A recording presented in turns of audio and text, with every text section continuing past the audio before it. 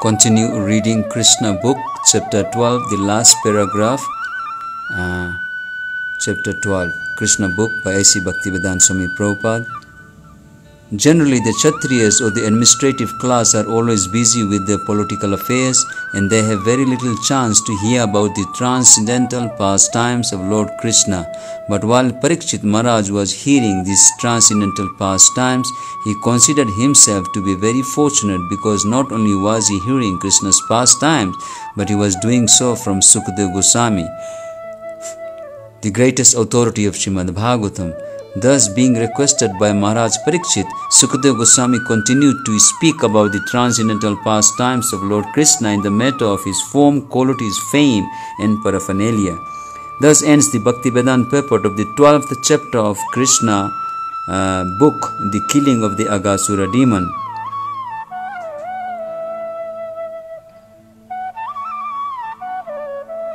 Now we're reading chapter 13 of Krishna book by A.C. Bhaktivedanta Swami Prabhupada, the stealing of the boys and the calves by Brahma. Sukadeva Goswami was very much encouraged when Maharaj Parikshit asked him why the cowherd boys did not discuss the death of Aghasura until after one year had passed. He explained this. My dear king, you are making the subject matter of the transcendental pastimes of Krishna fresher by your inquisitiveness. It is said that it is the nature of the devotee to constantly apply his mind, energy, word, words, ears, etc. in hearing and chanting about Krishna. This is, this is called Krishna consciousness.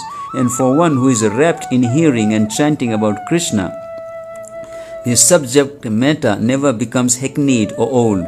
That is the significance of transcendental subject matter in contrast to material subject matter. Material subject matter becomes stale and one cannot hear a certain subject for a long time. He wants change. But as far as transcendental subject matter is concerned, it is called Nitya Nava Navayamana. This means that one can go on chanting and hearing about the Lord and never feel tired, but remain fresh and eager to hear more and more. It is the duty of the spiritual master to disclose all confidential subject matter to the inquisitive and sincere disciple. Thus, Sukadeva Goswami began to explain why the killing of Aghasura was not discussed until one year had passed. Sukadeva Goswami told the king, Now hear of this secret with attention. After saving his friends from the mouth of Aghasura and killing the demon, Lord Krishna brought his friends to the bank of the Yamuna and addressed them as follows My dear friends, just see how this spot is very nice for taking lunch and playing on the soft, sandy Yamuna bank and you can see how the lotus flowers in the water are beautifully blown and how they distribute their fragrance all around.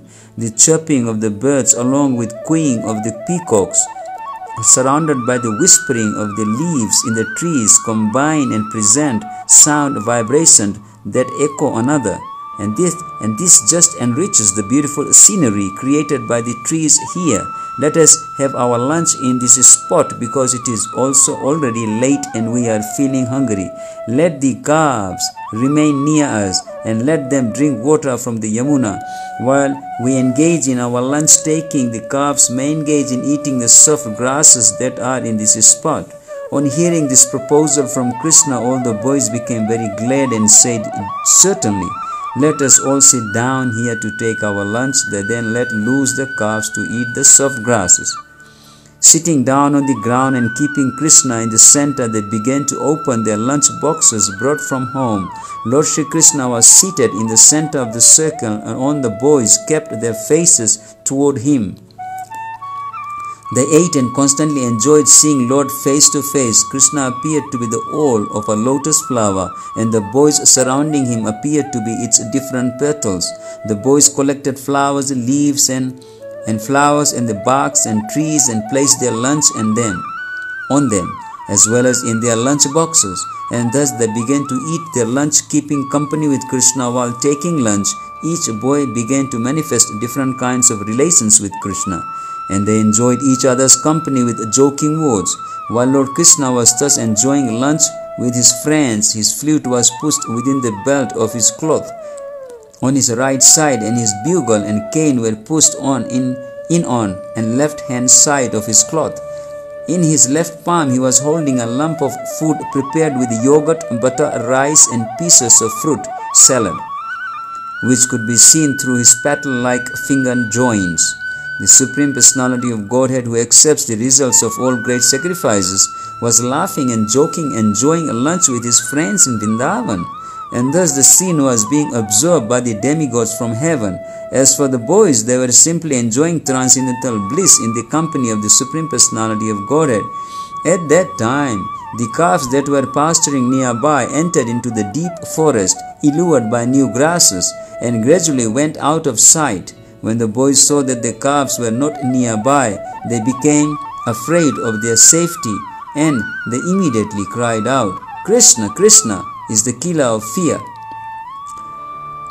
Fear personified. Everyone is afraid of fear personified, but fear personified is afraid of Krishna. By crying out the word Krishna, the boys at once transcend the fearful situation out of his great affection. Krishna did not want his friends to give up their pleasing lunch engagement and go searching for the calves. He therefore said, My dear friends, you need not to interrupt your lunch. Go on enjoying. I am going personally to find the calves.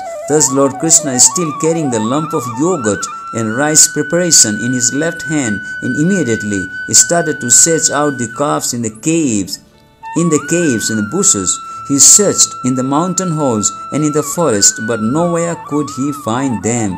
At the time when Aghasura was killed and the demons were looking on the incident with great surprise, Brahma, who was born of the lotus flower growing out of the navel of Vishnu, also came to see. He was surprised how little boy like Krishna could act so wonderfully, although he was informed that the little cowherd boy was the Supreme Personality of Godhead. He wanted to see more of the Lord's glorious pastimes, and thus he stole all the calves and the cowherd boys and took them to a different place. Lord Krishna, therefore, in spite of searching for the calves, could not find them, and he even lost his boyfriends on the bank of the Yamuna, when where they had been taking their lunch in the form of a cowherd boy. Lord Krishna was very little in comparison to Lord Brahma, but because he is the Supreme Personality of Godhead, he could immediately understand that all the calves and the boys had been stolen by Brahma. Krishna thought, Brahma has taken away all the boys and calves. How can I alone return to Vrindavan? The mothers will be aggrieved. Therefore, in order to satisfy the mothers of his friends as well as to convince Brahma of the supremacy of the Supreme Personality of Godhead, he immediately expanded himself as the cowherd boys and calves. In the Vedas, it is said that the Supreme Personality of Godhead has already expanded himself into so many living entities by his energy. Therefore, it was not very difficult for him to expand himself again into so many boys and calves. He expanded himself to become exactly like the boys, who were of all different features and facial and bodily constructions, and who were different in their clothing and ornaments and in their behavior and personal activities. In other words, although each boy being an individual soul had entirely different tastes, activities, and behavior, Krishna exactly expanded himself into all the different positions of the individual boys. He also became the calves, who were also of different sizes, colors, activities, etc. This was possible because everything is an expansion of Krishna's energy. In the Vishnu Purana, it is said, Parasya Brahmana Sakti, whatever we actually see in the cosmic manifestation, be it matter or the activities of the living entities, is simply an expansion of the energies of the Lord, as heat and light are the different expansions of fire thus expanding himself as the boys and calves in their individual capacities and surrounded by such expansions of himself, Krishna entered the village of Vrindavan. The residents had no knowledge of what had happened. After entering the village of Vrindavan, all the calves entered their respective cowsheds and the boys went to their respective mothers and homes. The mothers of the boys heard the vibration of their flutes before their entrance and to receive them they came out of their homes and embraced them, and out of maternal affection milk was flowing from their breasts, as they allowed the boys to drink it. However, their offering was not exactly to their boys, but to the Supreme Personality of Godhead, who had expanded himself into such boys. This was a chance for all the mothers of Vrindavan to feed the Supreme Personality of Godhead with their own milk. Therefore, not only did Lord Krishna give Yasoda the chance to feed him, but this time he gave the chance to all the other elder gopis. All the boys dealt with their mothers as usual, and the mothers also on the, on the approach of evening bathed their respective children, decorated them with tilaka and ornaments, and gave them necessary food after the day's labor. The cows also who had been away in the pasturing grounds returned in the evening and called their respective calves. The calves immediately came to their mothers, and the mothers began to lick the bodies of the calves. These relations of the cows and the gopis with their calves and boys remain unchanged, although actually the original calves and boys were not there. Actually, the cows' affection for their calves and the older gopis' affection for their boys causelessly increased. Their affection increased naturally, even though the calves and the boys were not their offspring. Although the cows and elder gopis of Vrindavan had greater affection for Krishna than for their own offspring, after this incident their affection for their offspring increased unlimitedly. Exactly as it did for Krishna, for one year continuously, Krishna himself expanded as the calves and cowherd boys and was present in the pasturing ground. As it is stated in Bhagavad Gita, Krishna's expansion is situated in everyone's heart as the super soul. But in this case, instead of expanding himself as the super soul, he expanded himself as a portion of calves and cowherd boys for one continuous year. One day, a few days before a year had passed, Krishna and Balaram were maintaining the calves in the forest when they saw some cows grazing on the top of the Govardhan hill. The cows could see down the valley where the calves were being taken care of by the boys. Suddenly, on sighting the calves, the cows began to run toward them. They leaped downhill with joined palms and rear legs. The cows were so melted with affection for the calves that they did not care about the rough path from the top of Govardhan Hill down to the pasturing ground. They approached the calves with their milk bags full of milk and they raised their tails upwards. When they, when they were coming down the hill, their milk bags were pouring milk on the ground out of intense maternal affection for the calves. Although they were not their own calves, these cows had their own calves, and the calves that were grazing beneath Govardhan Hill were larger.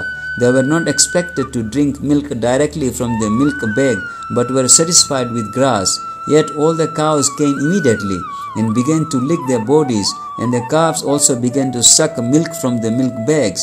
There appeared to be a great bond of affection between the cows and calves.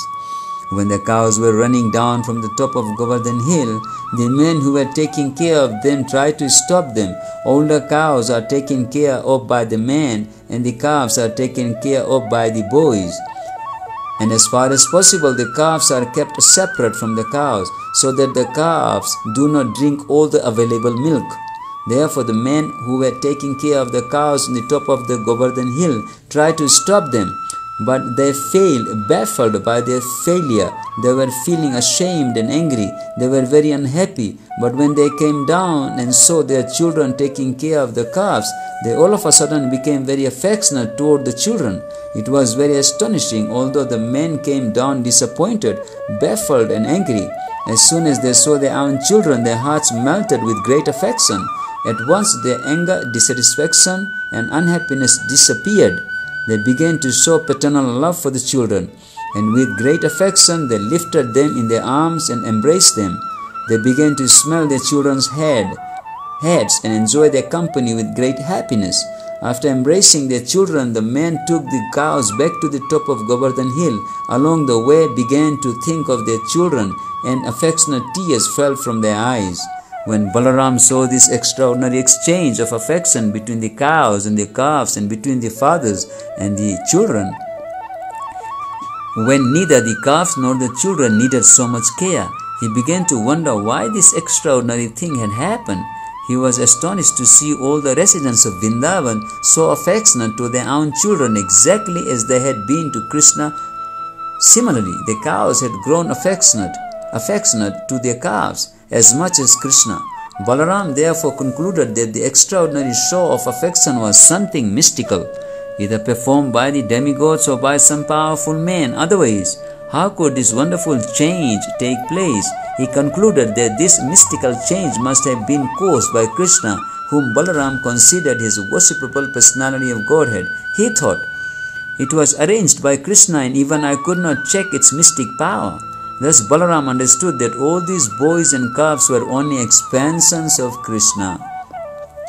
Balaram inquired from Krishna about the actual situation. He said, My dear Krishna, in the beginning, I thought that all these calves and cowherd boys were either great sages and saintly persons or demigods, but at present it appears that they are actually your expansions.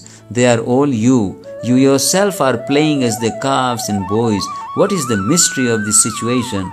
Where have the, those other calves and boys gone? And why are you expending yourself as the calves and boys? Will you kindly tell me what is the cause? At that request of Balaram, Krishna briefly explained the whole situation how the calves and the boys had been stolen by Brahma, and how Krishna was concealing the incident by expending himself so people would not know that the original calves and boys were missing. While Krishna and Balaram were talking, Brahma returned after a moment's interval according to the duration of his life. We have information of Lord Brahma's duration of life from the Bhagavad Gita.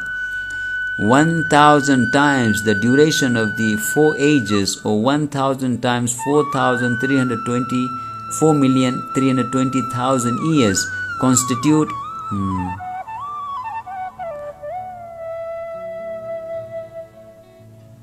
Brahma's 12 hours. Similarly, one moment of Brahma's time is equal to one year of our solar calculation. After one moment of Brahma's calculation, Brahma came back to see the fun caused by stealing the boys and calves. But he was also afraid that he was playing with fire. Krishna was his master, and he had played mischief for fun by taking away his calves and boys. He was really anxious, so he did not stay away very long. He came back after a moment by his calculation, he saw that all the boys and calves were playing with Krishna in the same way as when he had come upon them. Uh, although he was confident that he had taken them and made them lie down sleep under the spell of his mystic power, Brahma began to think, All the boys and calves were taken away by me, and I know they are still sleeping. How is it that a similar batch of boys and calves is playing with Krishna? Is it that they are not influenced by my mystic power? Have they been playing continually for one year with Krishna? Brahma tried to understand who they were and how they were un, un, uninfluenced by his mystic power, but he could not ascertain it. In other words, he himself came under the spell of his own mystic power. The influence of his mystic power appeared like snow in darkness or a glowworm in the daytime. During the night's darkness, the glowworm can show some glittering power, and the snow piled up on the top of a hill or on the ground can shine during the daytime. But at night, the snow has no silver glitter, nor does the glowworm have any illuminating power during the daytime. Similarly, when the small mystic power exhibited by Brahma was before the mystic power of Krishna, it was just like a snow at night or a glowworm during the day. When a man of a small mystic power wants to, to show some potency to the presence of greater mystic power, he diminishes, he diminishes his own influence. He does not increase it. Even such a great personality as Brahma, when he wanted to show his mystic power before Krishna, became ludicrous. Brahma was thus confused about his own mystic power. In order to convince Brahma that all those calves and boys were not the original ones, the calves and boys who were playing with Krishna transformed into Vishnu forms. Actually, the original ones were sleeping under the spell of Brahma's mystic power, but the present ones seen by Brahma were all immediate expansion of Krishna or Vishnu. Vishnu is the expansion of Krishna, so the Vishnu forms appeared before Brahma. All the Vishnu forms were bluish color and dressed in yellow garments. All of them had four hands decorated with club, disc, lotus flower, and conch shell. On their heads were glittering golden helmets inlaid with jewels. They were bedecked with pearls and earrings and garlanded with beautiful flowers. On their chests was the mark of Srivatsa. Their arms were decorated with amulets and other jewelry, and their necks were just like conch shells. Their legs were decorated with bells. their waists with golden belts, and their fingers with jeweled rings. Brahma also saw that upon the whole body of each Lord Vishnu, from the lotus feet up to the top of the head, fresh tulsi leaves and buds had been thrown. thrown. Another significant feature of the Vishnu forms was that all of them were looking transcendently beautiful. Their smiling resembled the moonshine and their glancing resembled the early rising of the sun. Just by their glancing, they show they showed themselves to be the creators and maintainers of the modes of ignorance and passion. Vishnu represents the mode of goodness, Brahma the mode of passion, and Lord Shiva the mode of ignorance. Therefore, as the maintainer of everything in this cosmic manifestation, Vishnu is also the creator and maintainer of Brahma and Lord Shiva. After this manifestation of Lord Vishnu, Brahma saw that many other Brahmas and Shivas and demigods and even insignificant living entities, down to the ants and very small straws, all moving and non moving living entities, were dancing surrounding Lord Vishnu. Their dancing was accompanied by various kinds of music, and all of them were worshipping Lord Vishnu. Brahma realized that all those Vishnu forms were complete in mystic power from the anima perfection of becoming smaller like an atom up to becoming infinite like the cosmic manifestation.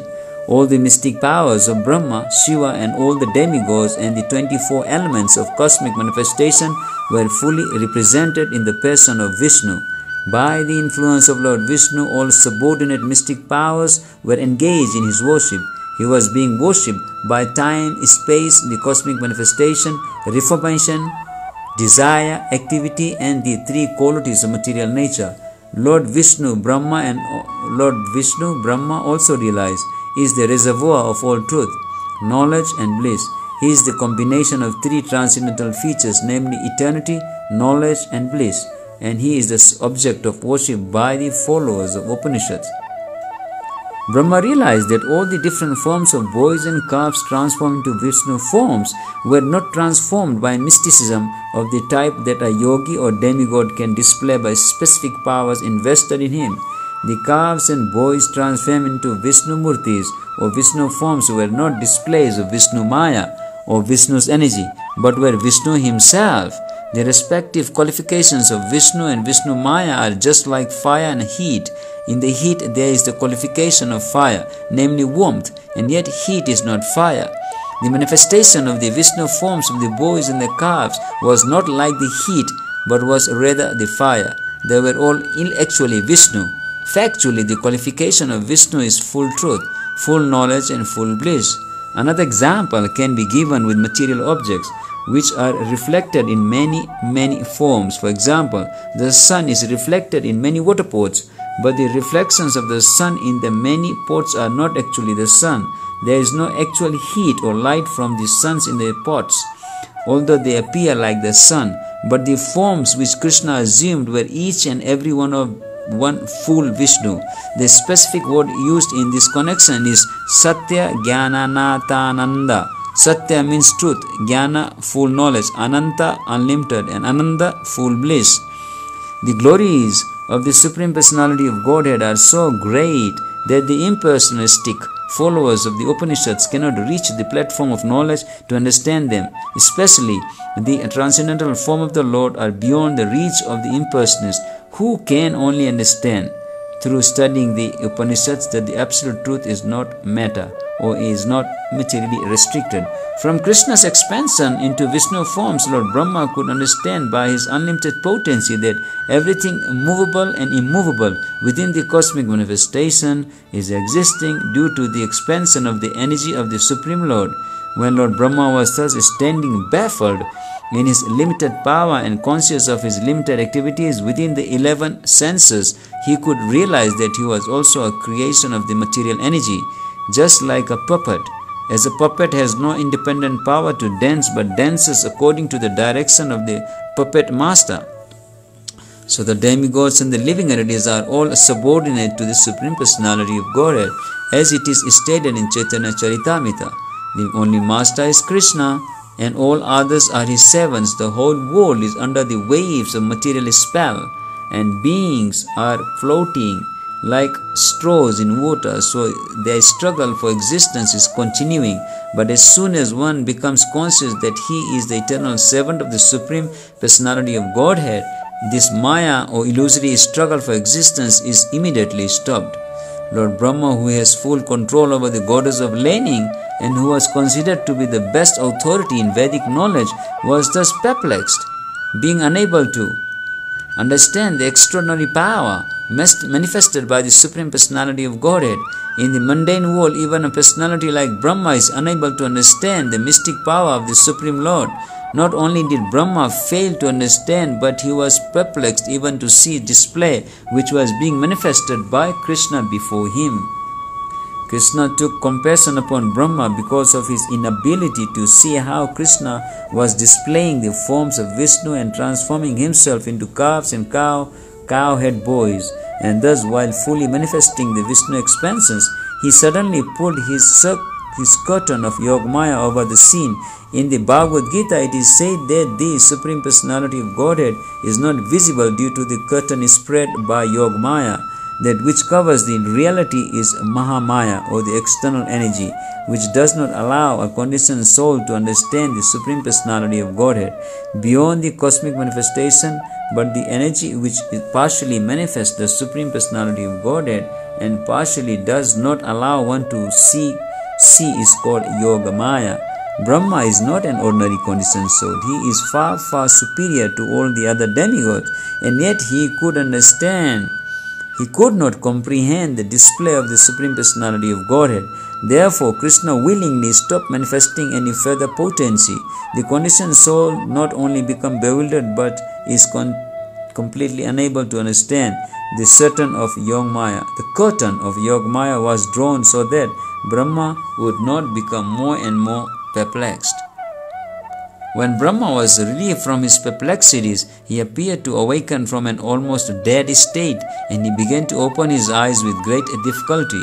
Thus he could see the eternal cosmic manifestation with common eyes. He saw all around him the super excellent view of Vrindavan, full with trees, which is the source of life for all living entities. He could appreciate the transcendental land of Vrindavan, where all the living entities are transcendently ordinary, nay, ordinary nature. And it is transcendental to ordinary nature.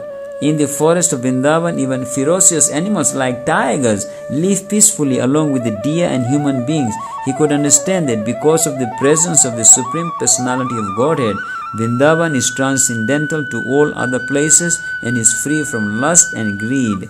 Brahma thus found Sri Krishna, the Supreme Personality of Godhead, playing the part of a small cowherd boy, he saw the little child with a hump of food, lump of food in his left hand, searching out his friends and calves, just as he had actually been doing one year before, after their disappearance. Immediately Brahma descended from his great swan carrier and fell down from the Lord just like a before the Lord, just like a golden stick. The word used among the Vaishnavas for offering respects is dandavat. This means falling down like a stick. One should offer respect to the superior Vaishnava by falling down straight with his body just like a stick. So Brahma fell down before the Lord just like a stick to offer respect, and because the complexion of Brahma is golden, he appeared to be like a golden stick lying down before Lord Krishna. All the four helmets on the heads of Brahma touched the lotus feet of Krishna. Brahma, being very joyful, began to shed tears and he washed the lotus feet of Krishna with tears repeatedly. He fell and rose as he recalled the wonderful activities of the Lord. After pre- repeating obeisances for a long time, Brahma stood up and smeared his hands over his eyes. Seeing the Lord before him, he trembling, he he, trembling, began to offer prayers with great respect, humility, and attention. Thus ends the Bhaktivedanta purport of the 13th chapter of Krishna, the stealing of the boys and calves by Brahma. Hare Krishna.